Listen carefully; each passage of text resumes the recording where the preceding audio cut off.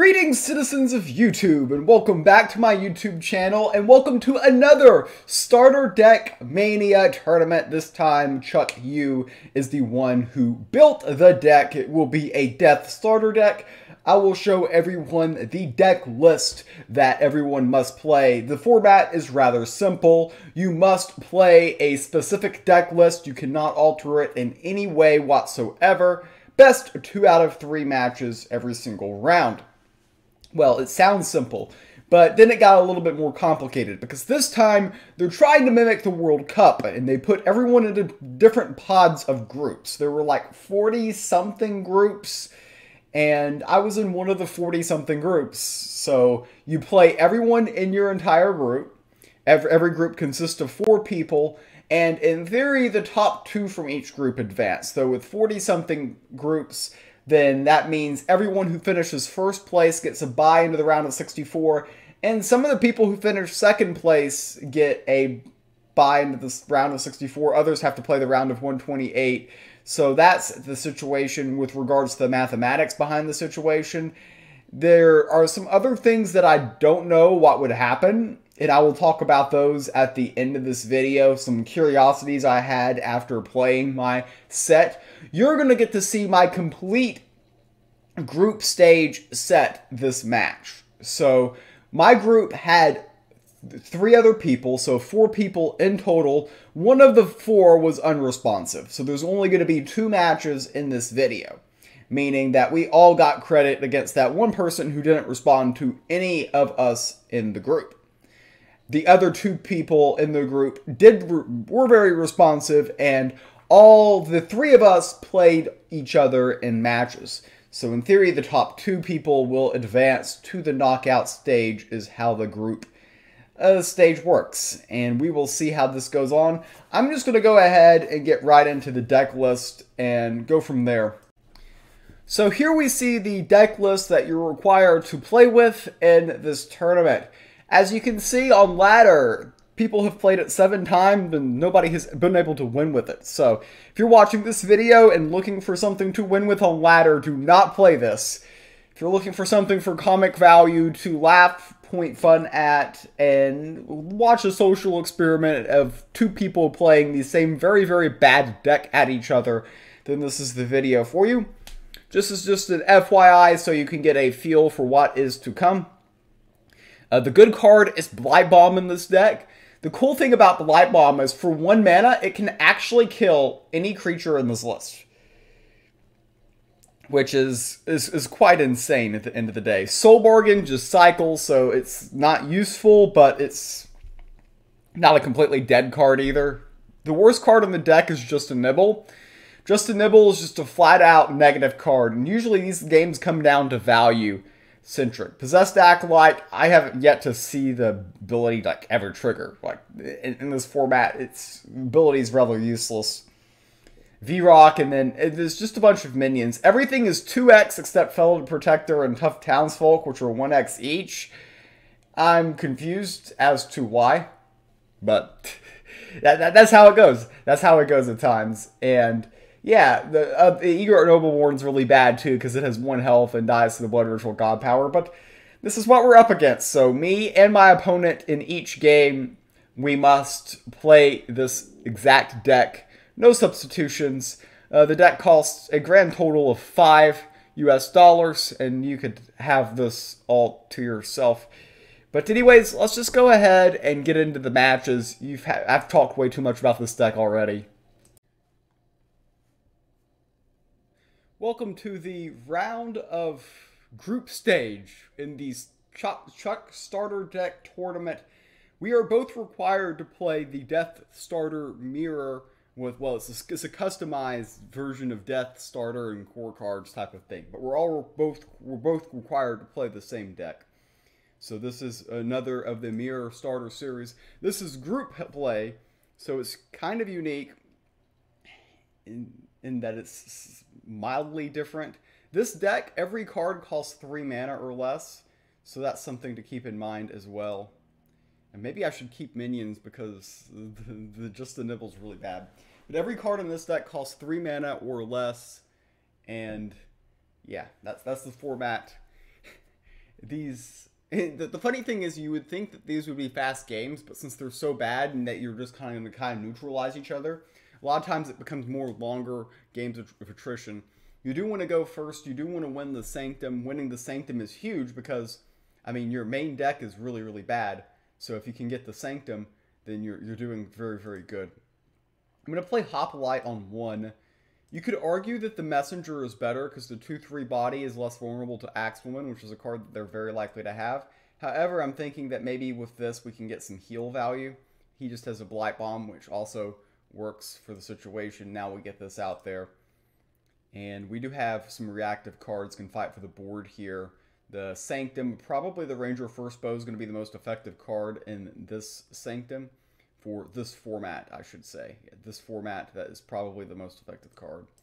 So I'm going to go ahead, make the trade here, see what we get. I think the Blight Bomb's more versatile than the Axe Woman. We get the Felid Protector, which it will come into play this turn and we're going face, so we're getting a little bit of favor here. Again, the Sanctum is, is really, really important. Going first is, the advantage is you do get control of the Sanctum. We've got some board presence here, some reactionary, and can get the Battle Oryx down next turn with the Blight Bomb, probably preferring that over the V-Rock. Our opponent should be able to play lots of things, and we, yep, we're able to see that's going to make trade successfully for him and they've got the Blight Bomb to finish this off. So he's played both Blight Bombs this game. So we do not have to worry about Blight Bomb when we play our Battle Oryx here, which we will indeed do. The Possessed Acolyte isn't super, super great at this stage of the game. Obviously, you get bonuses when you hit the 15 health. I, it's, it's kind of a catch-22, because if you get down to 15 health, I've probably lost control of the board, and that's probably not very good. So they've got a V-Rock, and they're going to give my creature Soulless, uh, which at the end of the day doesn't really matter. I don't, I don't, I don't think it does. I mean, I'm not super familiar with the format, but I do not think it does. We're going to draw with the V-Rock, see if we get an Axewoman to peel this off. And we do. that, that, that, that was a cool top deck call right there. And we'll probably just play the Dockside Prowler here. Yep, we will indeed. Pretty good start to this game for from our perspective. Of course, going first is nice, and I think we're going to win the battle, the race, the first thing in the Sanctum, which will be the Ranger First Bow most likely, helps contest the board. And, I mean, the Val does too, but the Ranger First Bow co comboed with the God Power contest the board a little bit better, in, in my opinion. So, they're going to be able to buff their minion. Okay, they, that minion is very buff here. So, the question is, is do I want to trade the Oh, wait, that's end of turn. Oh, boy. That card's even worse than I thought.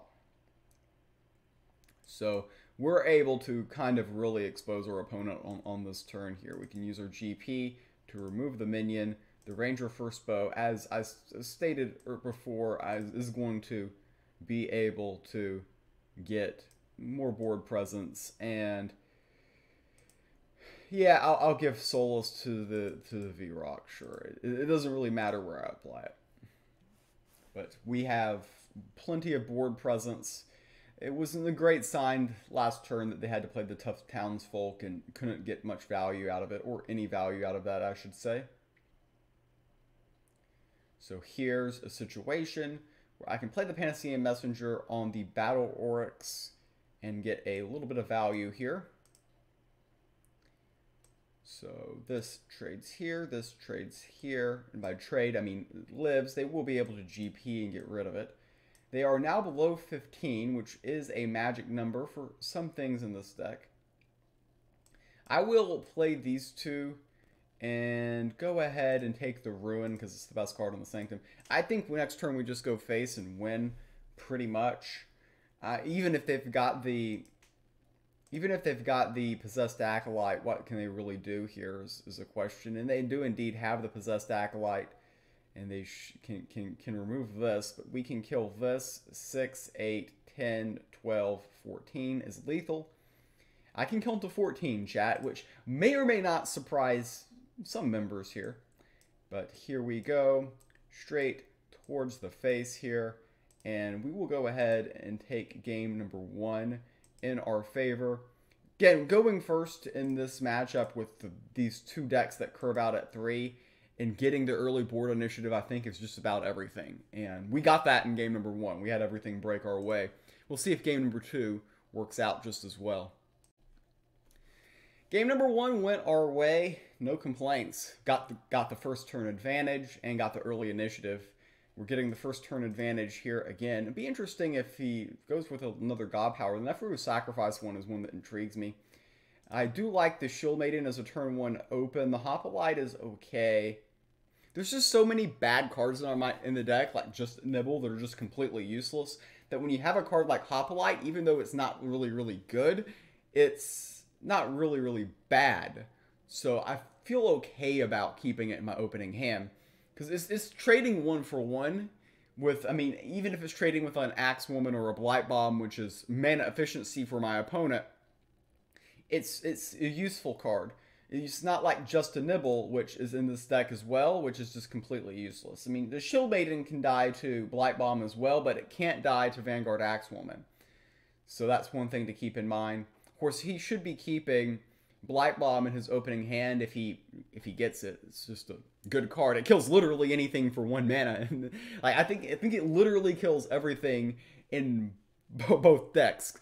Blight Bomb for one mana is very, very strong in this particular format. So it should be a keep if he if he had it. Of course, we didn't get it in our opening hand, so there's a chance that he didn't get it. And if he's sitting there with like one mana two twos, then this is a very awkward situation. And and as soon as I say that, he plays a one mana two two. Again, very awkward situation. Oh, he had the Blight Bomb. That's key for him. That was that was big. And having the Blight Bomb there was huge because if, if he didn't have that, I was playing the Panacean Messenger and I was running into here. I, I was I was running into here, then playing the Messenger and would have been left with the 2-2 minion. Would have gotten a lot of value there. So him having the Blight Bomb really saved him saved himself here. And, and now it's not a horrendous start. So he's getting the Axe Woman. He's going to be able to use the GP. So that worked out very well for him. And now I'm in an awkward spot. I don't want to play the V-Rock or Hoplite into this 2-2. That's just not very great. And I, I don't want to, yeah, I don't like any of this. See, if I played this, he can still pick. Yeah, this is just mana efficiency. Mana efficiency dumping our hand is, is what we got to focus on here. Next turn, we can play the Spring Bloom and the Hoplite, and that's probably correct. And here, they, they run into here, and we, we will get to draw. Of course, if they've got a... Depending on what they have here, they had that three mana three three with frontline. It's, it's very very awkward here. Yeah, they're gonna peel there. It makes sense. So we can play the Hoplite and the Spring Bloom. Okay, no, never mind. The Blight Bomb is big. The Blight Bomb is indeed very big here. So we can go ahead play the Blight Bomb. I'm gonna lead with the Spring Bloom. The idea is, depending on what they play, we've got these Eagle Nobleborns, which we can get some value out of. And I think that's slightly better okay, these are just going to end up trading most likely, and he's got the Riled Ursine, so yeah, we play the Hoplite, and they end up trading. Yeah, no, no real, no real things here. This is probably going to be something very common in this type of format. We kind of have a standstill. Neither one of us are really making progress. And my hand right now is just complete bricks. I'm curious what he's holding. But these Eagle Noble Nobleborns are just so bad in this in, in, in, the, in these games because of the Blood Ritual God Power. And the Possessed Acolyte's just a 2 mana 2 2 at the moment. Okay, Riled Ursine. Not, not super, super effective here. He should be able to play one more minion. And these will likely trade with one of these. Neither one of us really making progress towards the Sanctum. And nothing in the Sanctum is super, super effective. I mean, we do have the Bronze Servant, which is the 3 mana 3 3. And I, I, even even with no relics, a three mana three three in this format is solid. I mean, so here he can attack or he can sit, but it's probably going to have the same result. Yeah, I do agree with attacking. It gives me less options if I have something amazing I can do here. Just a Nibble's the worst card in the deck. I don't like seeing that at this stage of the game. And we do get a Shield Maiden, which can be a mild nuisance for our opponent here. We can He can see him attack here and use the GP, but he still has 3 mana left over. At the moment, I think we're losing. We have... I mean, we've actually traded 7 cards... Well, actually, no. He's he's gotten a little bit of card advantage. Yeah, he's he's achieved a little bit of card advantage because he played Soul Bargain. Um, so that's where he currently stands. But yeah, and our hand right now is just horrendous. The Eagle Nobleborn is completely useless, and yeah, that that is effective. It's it stops me dead in my tracks here. All we can do is play these two, and it doesn't really accomplish much. Again, I want to play the Eagle Nobleborn when I can get some sort of use out of it. And honestly, I might end up playing both in the same turn, so they can only GP one of them. That's a common strategy in these type of uh, events. But the, we've got three effectively dead cards in hand. These are moderately dead. Just a Nibble is just flat out dead. This is definitely the worst card in the entire deck. I hope he's holding two of them. but he, he might not be. But the, the, the moment of course, everything in his deck costs three or less. Everything in my deck costs three or less. So we know he's holding a lot of things that he can play right now. At the moment, it just seems like we're kind of at a standstill. There's not really any benefit of going face. This is really all about value at the end of the day. And, yep, achieving more value. I guess I can't go buy cards in Void because of the Soulless thing. Yeah, maybe we've been trading the entire time. I was trying to think of where I lost out on, and this part is not so clear to me.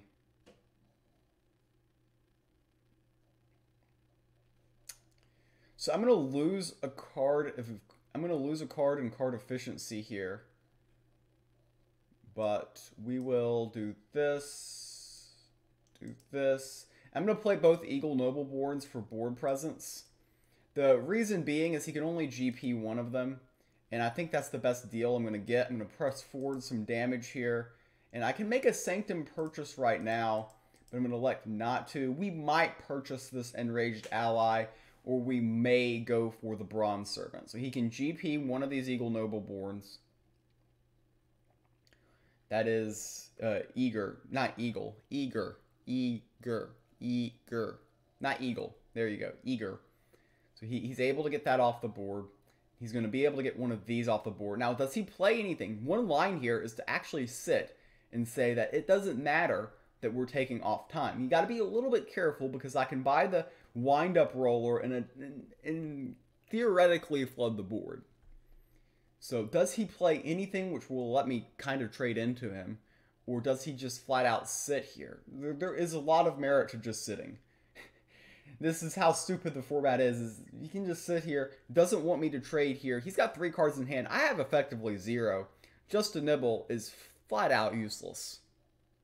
In fact, you could argue that one of the best use cases for just a nibble for me next turn is to prevent him from GPing to gain favor.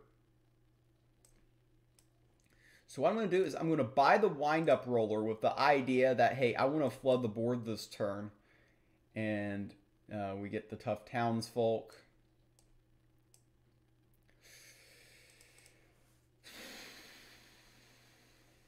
So this is controversial, but I'm using the GP on the Eager Nobleborn. The, the reason being is if he uses the GP, he gains 3 favor.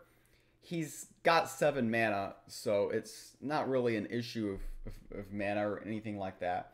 Just getting getting rid of that prevents an opportunity for him to gain favor. And that's that's that's what I was denying there on that line. Yep, now we're seeing him flood the board. He wants to ask some questions with the line that I just did, and now we've got uh, some things to consider here. So this hits here. I would like to leave myself with two one health minions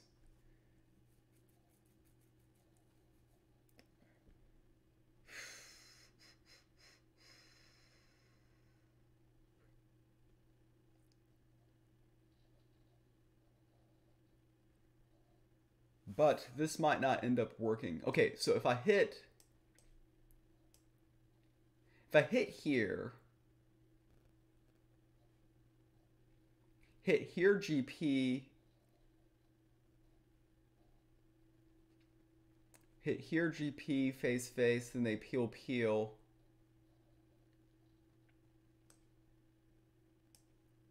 Hit here, GP, hit here, hit here. And now he can attack here, but he can only GP this minion. This lives, but doesn't get much value. This goes back to a 2-3. He had a good burst turn there. Really worked out that really worked out well. Maybe I made a mistake killing the eager nobleborn. Should have just let him have the three favor. That might have been a mistake. Now he can grab the Battle Oryx, which is the best card in the Sanctum at the moment, and he does indeed do so. And we are behind in this game in terms of value. And they do give us a little bit of value back by allowing us to hit the Vanguard Axewoman. So we'll go ahead, draw a card. Yeah, the double Just a Nibble is just really, really tough at this stage of the game. These are just the worst cards. You, you just don't want to end up with just a nibble in your hand. It's just so bad. And the Battle Oryx. Now he has complete control of this game, complete control of the Sanctum, and he can flood the board and just get get value. So really drawing the two Just a Nibbles, I think, was kind of the turning point in this one. Just very unfortunate. So now we enter game number three. We went first in the first two. I'm starting to think that it might not matter as much. You just don't want to draw just a nibble. Neferu sacrifice a thing here? It might be. But Blood Ritual does help contest the board, and there's they do have the Eager Nobleborns, which get value if you don't take that. This draw isn't bad. I'm going to get rid of the V-Rock. Spring Bloom's a great T1. It asks the question if they have Blight Bomb or not. I'm going to keep it. I mean, it's, it's three non-useless cards. Mul usually what ends up happening is all these cards end up trading one for one. So that's fine. But we can get the Spring Bloom out on one, maybe get a Hoplite out on turn two. If we can win the early board, that could be key. We get just a nibble. See, see, this card is just absolutely devastating when you draw it because it has no utility whatsoever. So we're, we're already down a card. I feel like we're already losing and the game has just started. This unfortunately has hidden, so I can't really get much value here. I have to play Hoplite and let him trade. Which is kind of sad. Not much I can do there, though. Because if, if we do nothing, they can just do this and this, and then doing nothing just effectively trades. We did pick up two favor. Uh, the Sanctum, nothing much in the Sanctum. okay, so the Axe Woman plus the GP kills this. Still trading 3 mana for 3 mana, so effectively it's a wash. We do pick up a little bit of favor with this going face, though. That is going to be somewhat annoying, and this can go in with this and this and get value. We will soul bargain. Yeah, so they will attempt to attack here into here, and they're 50-50 to hit here, 25% to hit here and hit here. They hit here, then our GP can finish here, but then they can get the E Eager Nobleborn out there, and then maybe I float a turn. Oh, they're doing this. So this is 50-50 face or, or not. It does hit there. So we, but we can still hit here and hit the form of power or the card shark or the rune of sight.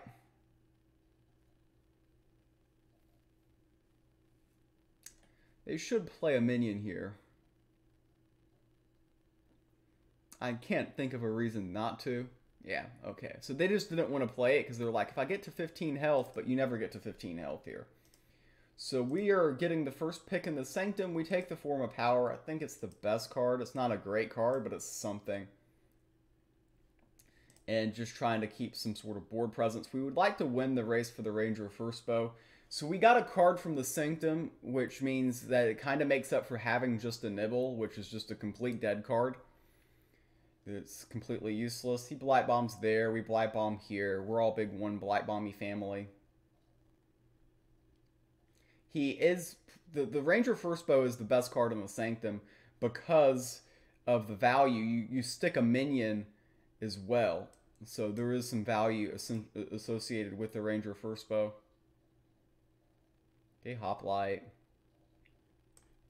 This uses the most mana, and that's why we elect to play these two minions. I could have played the Battle Oryx, but then he attacks, uses the GP, and he can immediately buy the Ranger First Bow. Now we're at least asking a little bit of questions. There's some lines where we can actually win the race to the 13 favor mark, especially with Battle Oryx, and then maybe being forced to trade. We can lead with V-Rock, potentially get something like a Blight Bomb, really contest the board here. Though it's actually very hard for us to get to 13 favor because if he has one favor moment, he gets to 13, and we actually need to accomplish three favor moments to get to, to, to, to get there. So yeah, we need to accomplish three favor moments. He only needs to accomplish one. So these these two just have to trade. Okay, he's getting out the Eager Nobleborn here, which we're going to have a GP and get one favor moment.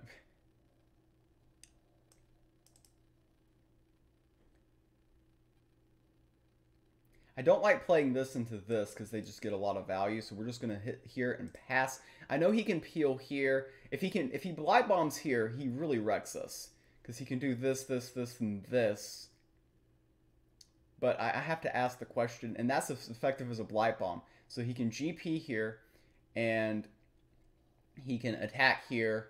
Well, actually, he can just no. He can't. He can't buy the Ranger First Bow and play it. So it wasn't the same as a blight bomb, but the Ranger First Bow is indeed the best card in the Sanctum, and he should definitely snap it right now. If he doesn't snap it, I'm snapping it. He might buy the card shark because he's like, I can play it the same turn. Rune of Sight, yeah. See, the problem with Rune of Sight is you're drawing from this deck. and uh, this deck is really, really bad.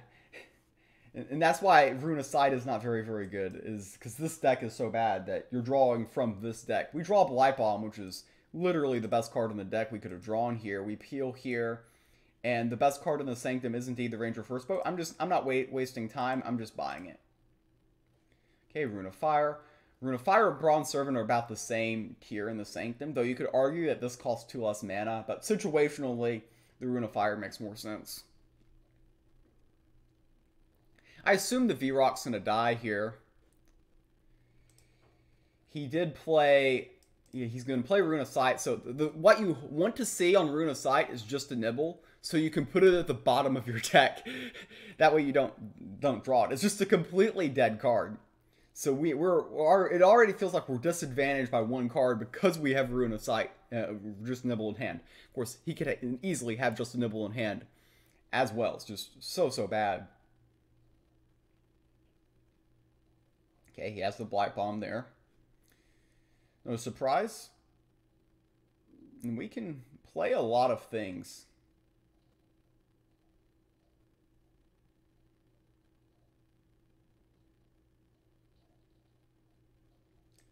All right, here the Ranger First Bow comes onto the board. Alongside the GP, we can play these two as well.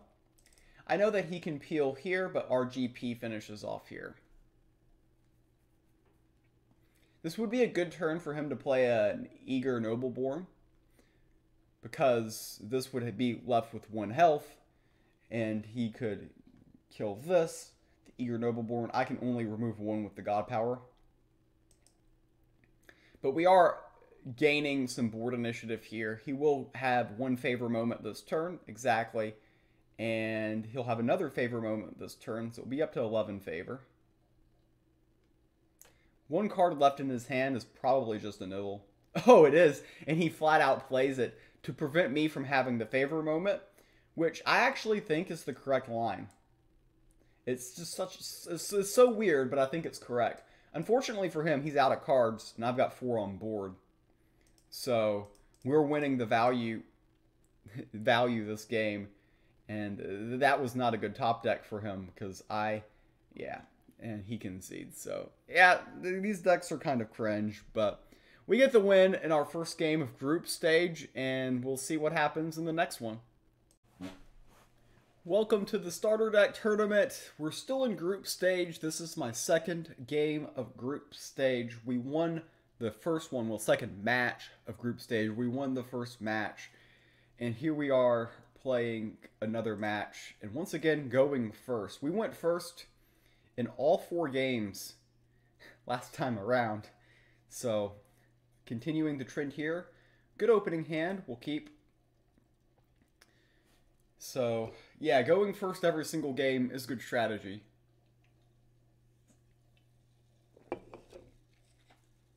Ideally, if we can seize the early board control, then that's going to be very good. If we can get the Sanctum, even though the Sanctum is really bad to start this game. Very bad Sanctum. So our advantage will be probably a little bit less because of that. The Rune of Sight is the best card in the Sanctum. The fellow tracker is completely useless, and the Rune of Life is essentially useless. So two of the three cards of the Sanctum are pretty useless, which decreases the advantage of coming out early with a lot of speed. So that's one thing to keep in mind moving forward in this match here. Alright, so these two end up trading one drop for one drop here and that is fine. I can I can play the messenger, but then we allow this attack. I can actually GP here, and then he could GP here and trade. There's there's multiple different ways of playing this. I think utilizing the GP as much as possible is going to be very important in this match, but at, this stage, just trading a tough townsfolk for a Vanguard Axewoman I think is a positive trade in quality overall. I mean, I, I still think it might have been correct what they did that turn because it's just so awkward for me to take all two of my mana and, and Blood Ritual there. Yeah, trading there makes sense because they don't want me to allow, allow to get the attack of value in here. Let's go ahead and execute the Blight Bomb. Getting a little bit of favor here moving forward is, is ideal. We are I mean, we would prefer to have the Rune of Sight in the Sanctum, but we've got 8 favor to their 0, so spending 15 on that is, is going to be something that we can do. Uh, the idea is that when you foresee, you hope to put some of those Just a Nibbles down on the bottom of the deck. Th those are really the only two absolute bricks that are included in this list, and we want to do everything we can to avoid them. Easy attack decision there an easy attack decision here. Though you could have argued that it was slightly less mana efficient to what I did there than just playing the, the Spring Bloom and giving up this. But we do accomplish more favor with this route. Wind Up Roller is going to be the best card in the Sanctum now. I think that this game might all, way all, all, always be about that top Sanctum pick. So Wind Up Roller right now, the top Sanctum pick. And the because these two, the, especially the fellow tracker, is just going to be absolutely useless here. So let's just get out two minions to put some board presence out there. And this minion's kind of awkward because you can't just play a 2-2 while this is out there and get good value, I should say. Yeah, Soul Bargain is just a card that just cycles for itself. It's not the worst card in the deck, but it, the, the giving something soulless effectively does nothing. So it does basically cost you one mana the turn that you play it, but besides that, it's not a completely dead tempo card. The Just a Nibble's the worst card, and we are fortunate so far to have not drawn that. And our opponent is taking a little bit of damage.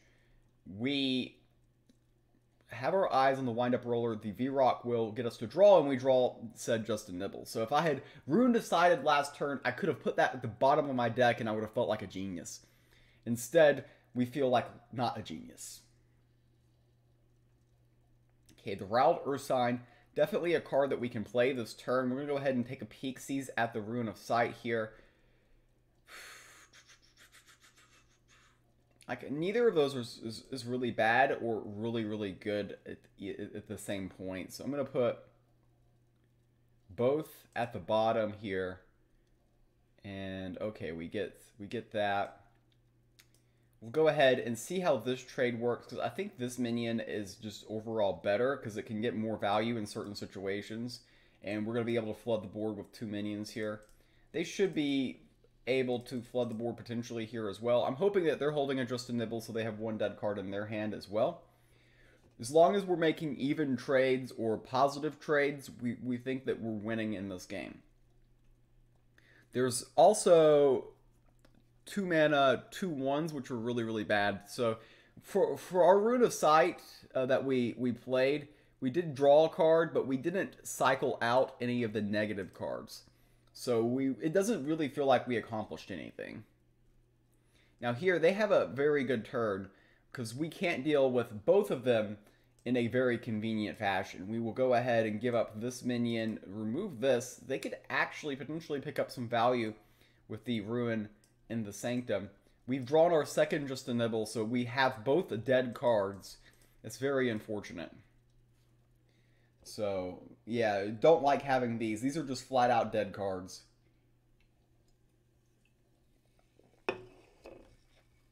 We're actually on pace to get the next Sanctum pick, which will indeed be the wind-up roller.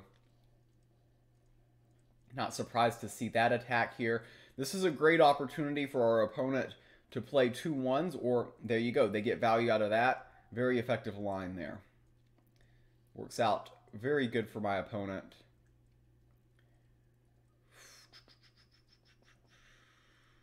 So here, this turn, this goes into here, and then this is going to buff here. Which allows us to hit here and get value out of this minion, which is often just a completely dead card. I'm going to try for the Riled Ursine to hit here. It's actually the worst if it goes face. Okay, it didn't go face. If it goes face, then they can get those Acolytes in play and start getting value out of them, which can be very problematic. I will buy the wind-up roller. It's the best card in the Sanctum. And the Sanctum could cycle into something useless. It cycles into something that's not useless, though.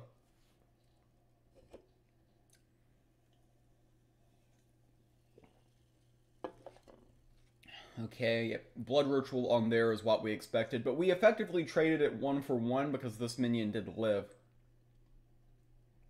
So we're we're happy we're happy to get some value out of that one. That's a specific card that you you're not always able to successfully get value out of. Here, I fully expect them to play the Shield Maiden and attempt to trade the Wild Ursine here into here. They miss on their attack. I'm assuming they missed. So now, if they could get like a 3-3 in play, that's what they would want to do. A 1-3 is the worst front line that they could get. Now we're going to have a 50-50 to attack into here and get a plus 1 value in terms of card differential. Let's go ahead and play the wind-up roller first to see if we get something to guarantee this attack, and we do not.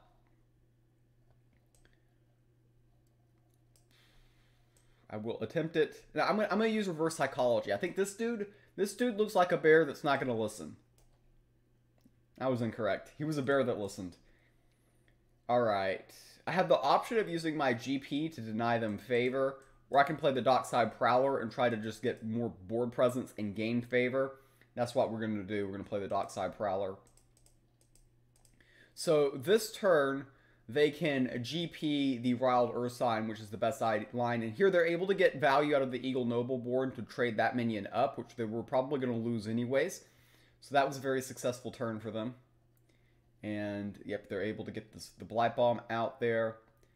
And they have only one card in their hand. So at most, they have one Just a Nibble. They've done a good job of avoiding the Just a Nibble unfortunate C. We've drawn, unfortunately, we have drawn both of ours.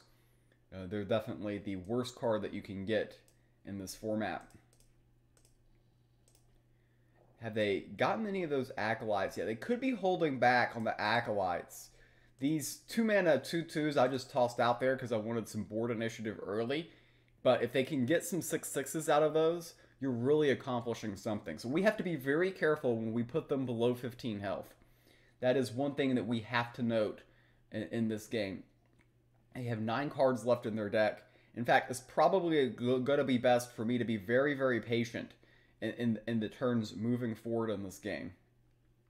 Because it, we don't really need to rush to get them down. We just want to outvalue them. Of course, going face is a great way to get Sanctum favor. So there is that. Okay, pretty good. Pretty good turn for them, getting both of these in play. So what I'm going to do here is peel here, peel here. This lets us this allows us to grab the Vow of Champions from the Sanctum, which we can use to just remove the Dockside Prowler for now. If we don't kill the minion, they can attack and use Blood Ritual. So we're simply simply protecting our minion.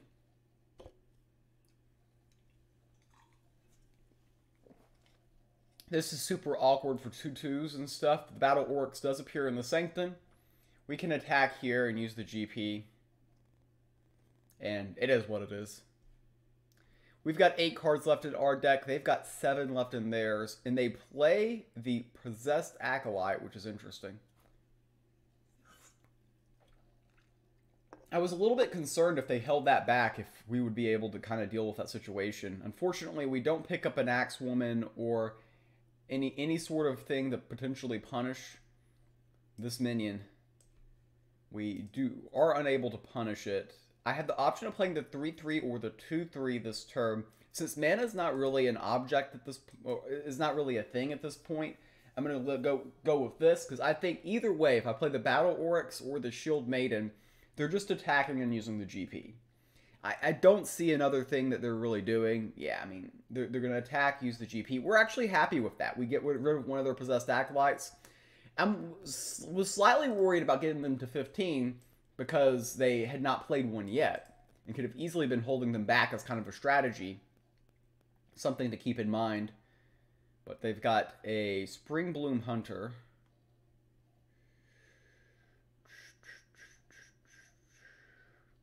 So here's a situation where I can go face, put them at 16, and potentially get to the Rune of Strength a little bit quicker.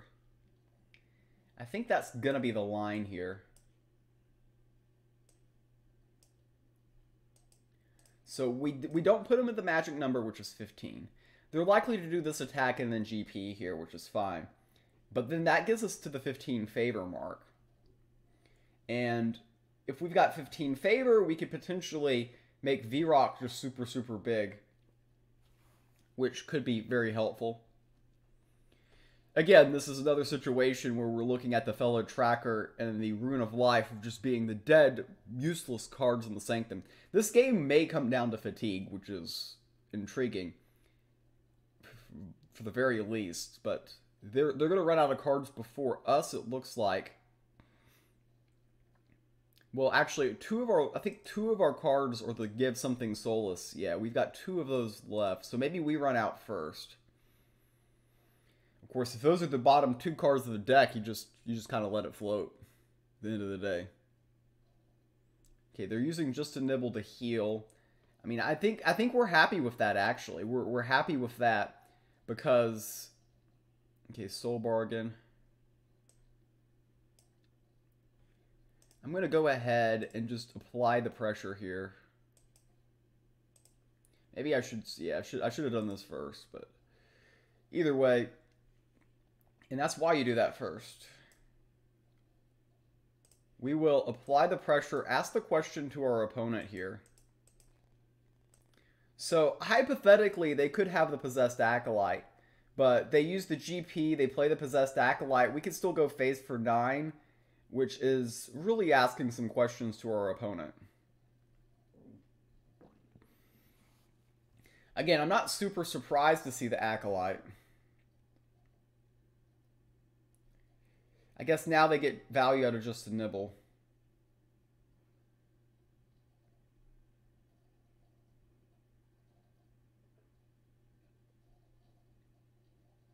So that, yeah, eager. So he's just, he's just G, GP here. Did he forget? He forgot to GP that turn. Yeah, he could have just God powered here. I honestly don't know why he didn't.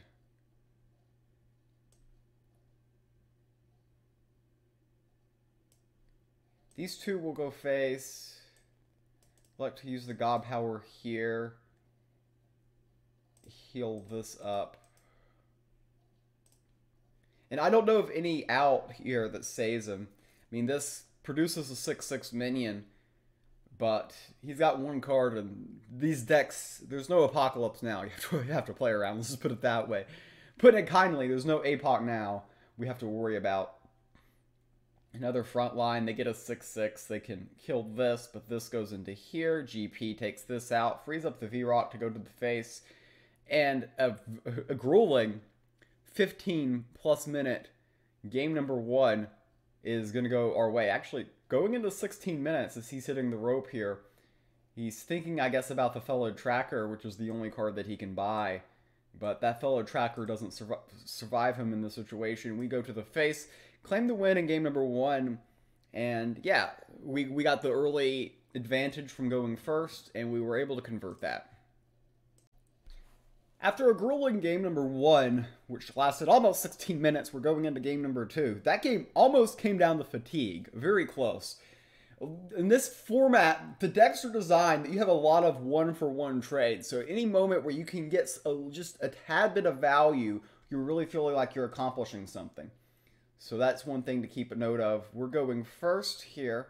Wild Ursine is three mana. Okay, we can get this out on one with this potential that could be big with the Blight Bomb to back it up. I like it. The, the main thing is we don't want just a Nibble, okay? That's the worst card in the deck. That's the card we want to avoid. So opening with Shield Maiden on turn one. What I like about this open is if they play like a one mana 2-2 here, then we can attack and then we can Panacean, uh, Panacean Messenger. So that's something to keep in mind. Okay, we've got, this is a mana awkward play, but I'm doing this because I think that there are some lines where I can get a two for one situation where if they play a 2 2, I can attack, then heal the minion.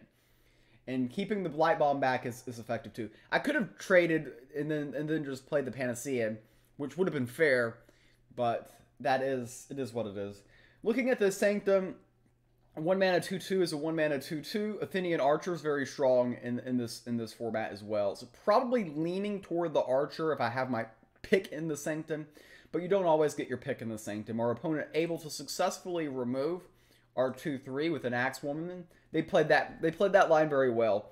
You don't want to just leave the question on the board. So I, I think they did that correctly here. Now here we're hoping they've got like a one mana 2-2 or something that we can attack into and then you get value with the Panacean Messenger. That's what we want to happen. That's not what always does end up happening. We know last turn they used the Axewoman and then pipped out their GP here, which tells me that most likely, well, they've got another Axewoman. So I was going to say, most likely they don't have a super clean answer to the situation, but they indeed had a clean enough answer to the situation. And it looks like, okay, the tough townsfolk getting on the board now. We will be able to get the Spring Bloom and the Panacean out there. These two could go into here and potentially grab some value. We've got the Blight Bomb for anything bigger they put behind this. So this tough townsfolk is, is actually somewhat tough to get value out of, especially going second from, from our opponent's perspective. And we might be winning the race for the Athenian Archer, the Athenian Archer being the clear number one best card in the Sanctum, in my opinion. Alright, so this turn we have the opportunity to use the Blight Bomb on a great target to get a 3-3 off the board. The regen gains value here. We go straight towards the face, grab the Athenian Archer. The Athenian Archer is indeed the best card in the Sanctum. We hate seeing that we have just a Nibble in our hand, but we're hoping that we can replace the ne basically negative one card we have in our hand with card advantage from the Sanctum, which will let us get ahead in this game. So we, we're, we're minus one with the cards that we've drawn from our hand, but we're plus one in the Sanctum. They've got a seven favor edge on us right now, but we have the initiative and may be able to capitalize on that. So we're, a we're, we're able to see the V-Rock come down. The Eager Noble board is, is a very bad card, I would have to say, just generally speaking. And they have a Hoplite as well. All right, so we'll just trade off one of our two twos here. This is kind of a standard, a standard idea. We're going to use the the GP here as well, get some value out of that.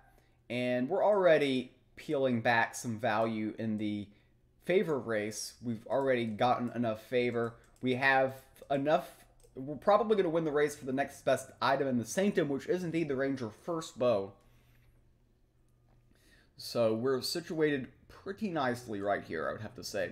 Got, got a good start in this game. Better start than we had last game. And last game we, we went first and had the initiative. This game we're, we're going first, have the initiative, and having an even better start. Unfortunately for them, playing that 2-3 with the Spring Bloom Hunter on the board, we're going to be able to attack and use the GP, get value, and we're going to be able to pick up the Ranger First Bow from the Sanctum, which is not going to feel very good for our opponent. So let's go ahead with this line as planned. The Ranger First Bow is indeed the best card of the Sanctum, so that is what we're going to acquire. And then I'm going to just play the Battle Oryx, and let's give Soulless to this this guy. Okay, yeah, this is this is fine. This is this is this is absolutely fine. So they can they can attack and use the GP. They go up to 11 favor. It's actually uh, actually probably favored to win the win the race for the next card on the Sanctum. Is is this this game's been pretty much all about the Sanctum. The Sanctum is our second hand, and it's very difficult for our opponent. Just being behind in the initiative with us controlling the Sanctum the entire game, it's just a bit unfair. We can potentially get value with the Eager, Eager Noble board next turn. Even if they get the possessed acolytes in play. I think I just ignore them, go face, and just win the race. We've already got four wide established on the board here. They've passed. What they what they want me to do is they want me to go towards their face and put them below 15. And I can really put them on tilt by simply doing this attack and being incredibly patient here. There's no reason to put them below 15 at the moment. And there's no way they can deal damage to their god. So putting them at 16 for one more turn allows us to pick off things they play this turn and then push as much damage to the face as possible. So, like, hypothetically, since he just passed last turn, we just said, okay, we're going to deal 4 to you, expand our board, and then ask you the question of what you're going to do. Now, it's it's incredibly awkward. They can't pass this turn. They take 11 and then they die before they ever get the six sixes. You could have argued that I should have put him at 13 anyways, but I thought that his best chance to climb back into the game would be to play two possessed acolytes, maybe have them start dying and get value that way. But yeah, here we're just going to go ahead like this everything goes to the face here. They can peel peel my minion if they would like. But they are incredibly low on health. And it's not looking good for them. They're at 5 already. We have the Rune of Fire in hand. I don't see a legit way for them to survive. They don't see a legit way for them to survive. And we win our second match of group play. So we ended up winning the group, finishing in first place. That advances us to the round of 64. Now's when I get to the point of the video where I talk about stuff that I'm curious, what if things went a little bit differently. So, I the, my the person I played in the first round beat the person I played in the second round of the group stage. The way it worked out was very simple. I went 2 0, they went 1 1, and the other person went 0 2. You have a clear first, a clear second place advance. However, what would have happened if I would have lost my last game? What's the tie-breaking procedures? Do three people advance? How does that work? Because we would have all, in theory, had a two-win and one-loss record, and they're advancing the top two. I don't understand what they would have done in that exact scenario. Another interesting thing I saw from the bracket side of things is the way they structure the bracket. Now, they wanted to make this World Cup style. For those of you who are familiar with the World Cup, which just happened very recently, when you're in the same group with somebody after you're done with the group, one person gets the winner's winner slot of the group, one person gets the loser slot of the group, and they go to the opposite side of the bracket.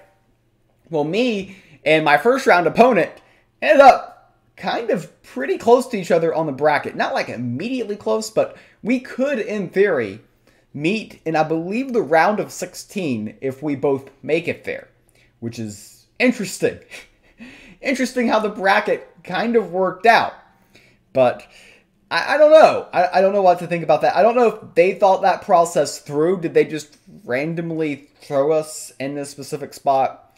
I'm curious how the process worked, and honestly don't know how. All I know is I'm in the round of 64 now, and I know where the bracket is. I know where the other person in my group got slotted. I don't think they had another game either. I think they got a bye into the round of 64 also. So I guess maybe that match wasn't super, super important. But it would have been interesting if I had lost my second match and then all three of the people who showed up were tied, how they would have handled that situation. Because honestly, I don't know. Anything could have happened. But anyways, that's going to end this video. I'll see you on the next video as we go on and advance to the round of 64.